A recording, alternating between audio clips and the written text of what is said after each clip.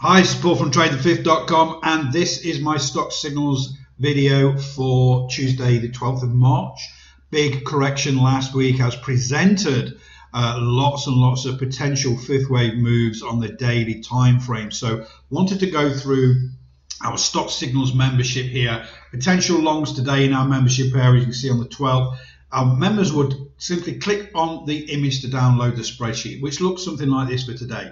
As you can see, there's over 100 potential fifth wave moves on the daily time frame. I've just chosen one of those to show you an example. So let's go through this. Uh, I've chosen GLPI on the daily time frame. I'm using our Elliott Wave indicator suite for the Thinkorswim platform, so also available for Multicharts, TradeStation, and NinjaTrader. So let's go through uh, the basics of this setup. So first of all, on our Stock Signals membership, there's a few filters that filters out those potential trades. So the first one is we've had a wave four, so we've had some profit taking against that main bullish trend, and it's found support in one of our automated target zones here. So our probability zones here are green, amber, red. So we found support in our amber zone on Friday last week, and that represents an 80% probability it's going to go on and make a new wave 5 high into our automated target zones up here. The next filter is the, the performance of this wave 4. So our 535 oscillator here pulls back between 90 and 140% fantastic. If it stays between here and starts to crown and go up, this is a really good sign that wave four, that profit taking pullback has behaved as expected. And then again, the stochastic, so the middle um, of the subcharts now, we've had a false breakout on the top. That denotes a really strong bullish trend. So since uh, we can see on uh, for earnings, we've had some profit taking. So that stochastics pulled back against that strong bullish trend. It's crossed over in the oversold zone, and now it is most likely to want to return to that overbought zone and continue that main bullish trend. So those are the three main filters for our uh, stock signals membership that generates all of those signals on the spreadsheet.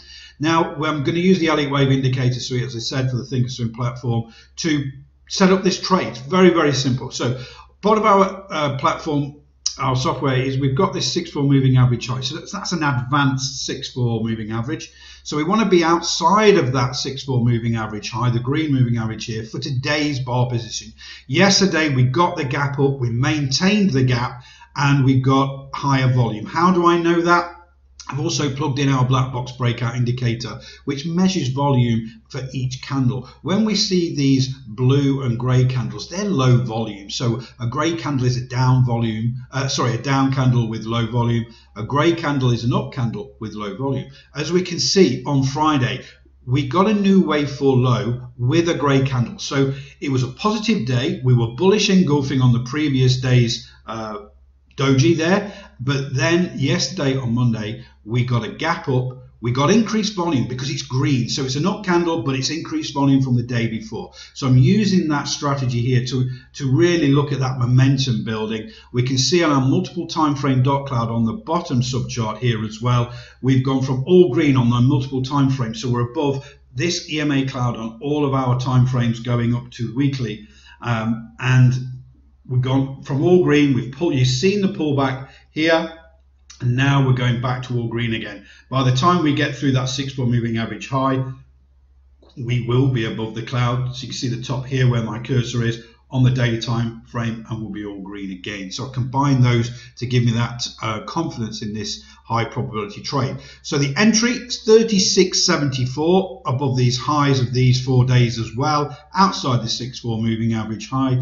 The stop loss is always a little bit below our wave 4 low there, so 35.36 and the bottom end of the target zone is at $39. So a risk to reward of 1 to 1.6 into the bottom end of that target zone, potentially 1 to 2 right just above that target zone as well. So good looking trade came from our stock signals membership. And you know we present those every single day to our membership there. And we've used our Elliott Wave indicator suite just to set up this very very simple trade.